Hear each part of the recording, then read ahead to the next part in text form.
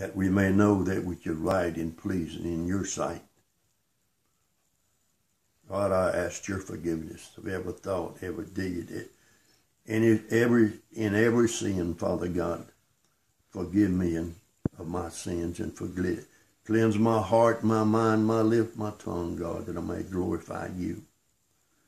I give you glory, Father. I give you glory. Thank you, Jesus. Thank you, Jesus. Thank you, Jesus. Thank you, Jesus. Glory to your name. Father God, I plead the blood of Jesus over myself, over my precious wife. Thank you, Lord, that my darling is healed. That you take away the pain, Father God, and let the joy of the Lord become her strength.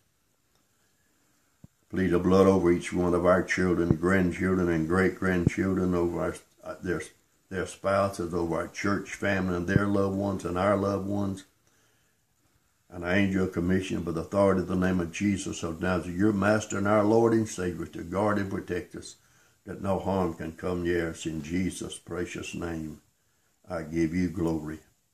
All things are possible to him that believe, and God that, that we believe and we know that nothing is impossible with you.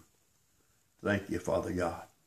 Thank you for the promise of your word that God that has made throughout the entire Bible, Lord, promise after promise.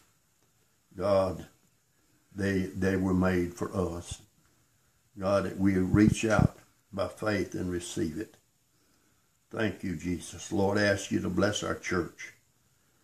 Oh, God, that it will grow and bless our young people. And our, God, that they'll go forth, Father, and they'll uh, moved, be moved and anointed by the Holy Ghost and fire, that God, that they'll turn this town upside down. Not only in, in the town, but all the community around us, Father God. God, that we'll see people coming into that church to be blessed and to hear the word. God, that we'll be that we'll need, we'll have to have that other building, Father God, in order to take care of them. In Jesus' name, Father, I claim it. I decree and declare to be and to come, come true, Father God, by your help and your anointing and your leadership, Father God. God, your power sent forth. God, to sweep our town. God, it all corruption and and everything, Father God, that, that is not pleasing to you. The liquor joints and everything else, Lord, will have to go. Will be they'll just nobody, God people to be saying nobody will buy We'll be buying at the liquor stores and things. And Lord, and our stores will clean their act up and quit selling alcohol beverages, Father God. In Jesus' name, in Jesus' name. Thank you, Jesus. Thank you, Jesus.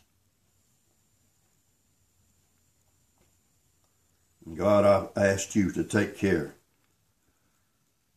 of the Isaacs, Father God, that are that are going forth slaughtering and killing those that, that worship you and belong to you. Father God, I asked you to fight the battle for them.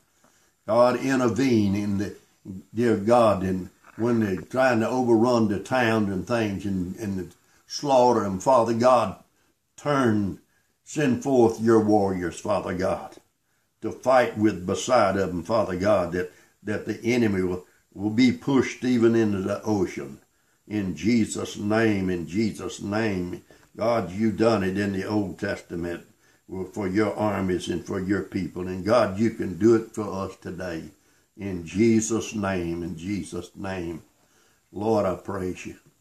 God, I, I ask your protection upon our our soldiers and men and women, Father God, and those in the play in the areas of, of danger and, and dear God, be so close and dear to them, angels assigned to them to guard them and to protect them. I pray, Father God, that they will, uh, through the anointing of the Holy Spirit, will be warned of things even in advance. And God, I pray for our law enforcement. God, that you, that the angels, we commission you to guard and protect them and give them, I ask God through the Holy Spirit of the wisdom, knowledge, and understanding that they'll do that which is right, but they'll stand their grounds. And God, that you'll protect them. And God, it's seeming like, seeming that the, that the black is trying to do everything they can to uh, think they can get by with hollering they've been harassed, uh, uh,